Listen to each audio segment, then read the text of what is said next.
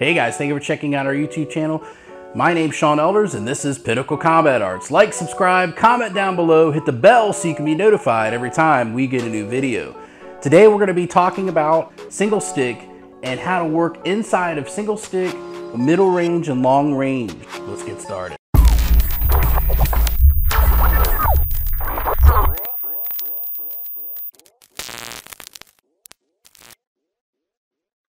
This is an intermediate type of single stick. So he gives me a number one.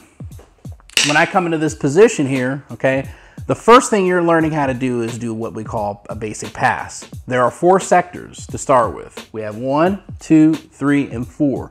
We're gonna be working in the number four sector. When I get to this position, I'm going to pass this just like this and go and do an attack, okay? In this case, what we're gonna do is we're gonna practice as I go to sector four, I pass it and go to the number two, a, a, a, what we call a shallow two, which hits cuts to the forearm. Now remember that the single stick also, it represents the single sword, okay? So when I go here, one, pass, and then I cut like this, then what's gonna happen is I'm gonna come in and do a number one and he's gonna do a roof. That's the first part. So we're just, you're just gonna practice that. One, two, and three. Just like that. One, two, and three. So this is teaching you how to sector. This is teaching you how to pass that sector and create a new line of attack for yourself. So we go here and pass. One and two.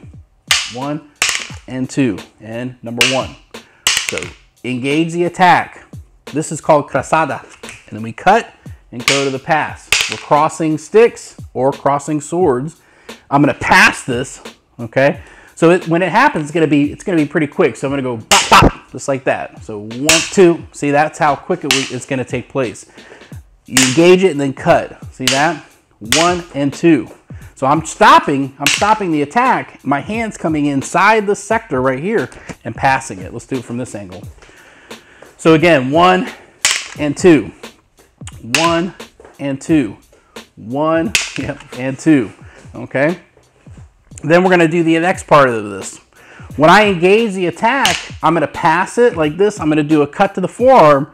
And then what's gonna happen is I'm gonna give him a number one. And when I give him the number one, he's gonna do a roof and lateral step back. Okay? We're gonna, then I'm gonna tick this back and we're gonna go one and two.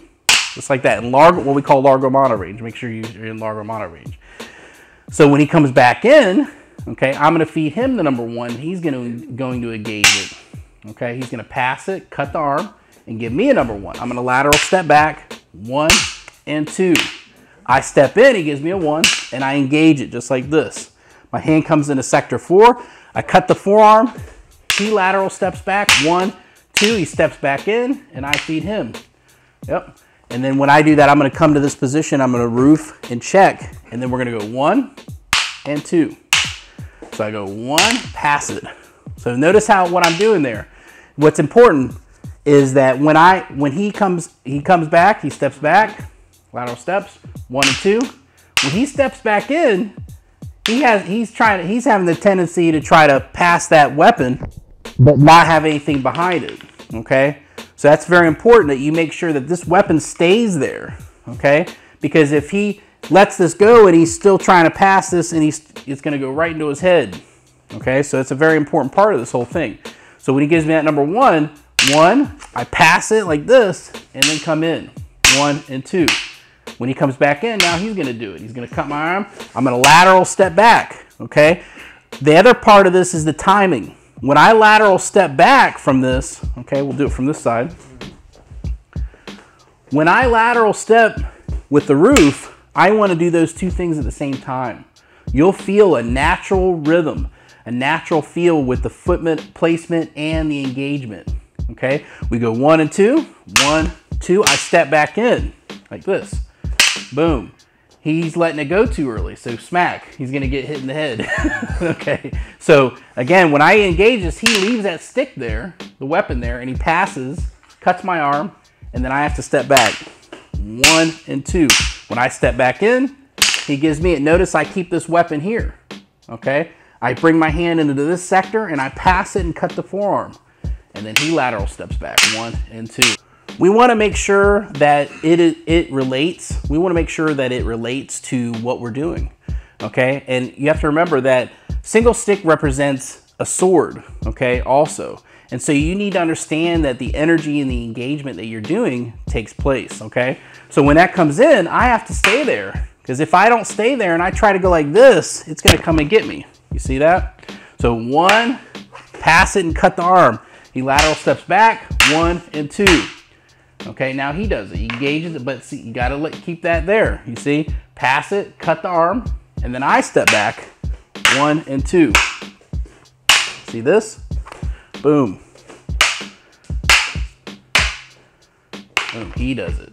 Bam, I lateral step back, one and two. Engage and cut, one and two. Engage and cut, left, roof engage and cut. See that? You have to make sure that you engage and cut. So that's the first part of this, okay? That's the first part of this. What I want you to do is I want you to just practice doing this over and over and over again. So for instance, we could start off doing contra sombrada, okay? Just like this, okay? And so what happens when we do this, I, when I get to this point, I can cut, they lateral step back, and then you can combine these two together.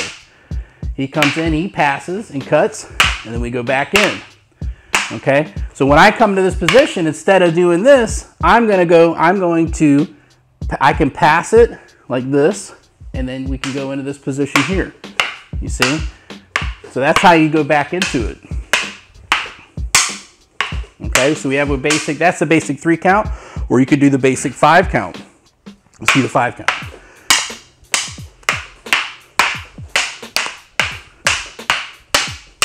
okay? So inside this five count, okay? When I get to the, when he gets to the number one and he gets in the inside deflection, he passes it, cuts my arm, and I have to lateral step back. We go back into it. You see that? I come in, I pass it, and he goes back. Okay? When he comes here, instead of doing the pass again, this time he's going to push my arm down and then come in with a number two. And then we go back into the sombrada. Okay, so notice that time we did it with a shield. Okay.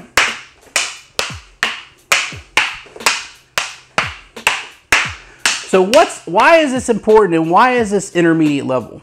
The reason why it's intermediate level is because you, in your beginning first levels, you're learning all the basics of the different aspects of meter range in Contra Sombrada. You're learning how to deflect and attack, deflect and attack deflect and attack. In a real combat situation, when he gives me that number one, I'm, I'm going here and I'm already cutting here. You see that? That's important concept of that. No matter what angle of attack he does, doesn't matter. I'm coming in, I'm counter attacking it. The other aspect to it is if I'm early, I can cut the hand and then come straight in. Okay? So first level is just simply learning how to deflect and attack. The second level is when you start to learn how to redirect the hands engagement and create new lines of attack. So get started with this and I'll see you guys next time. We're gonna go over and we're gonna add in more aspects of this in the next video. Go to our website, pinnaclecombatarts.com. There you can find out more about what I do and the classes that I provide. Thank you guys so much for your support and have a great day.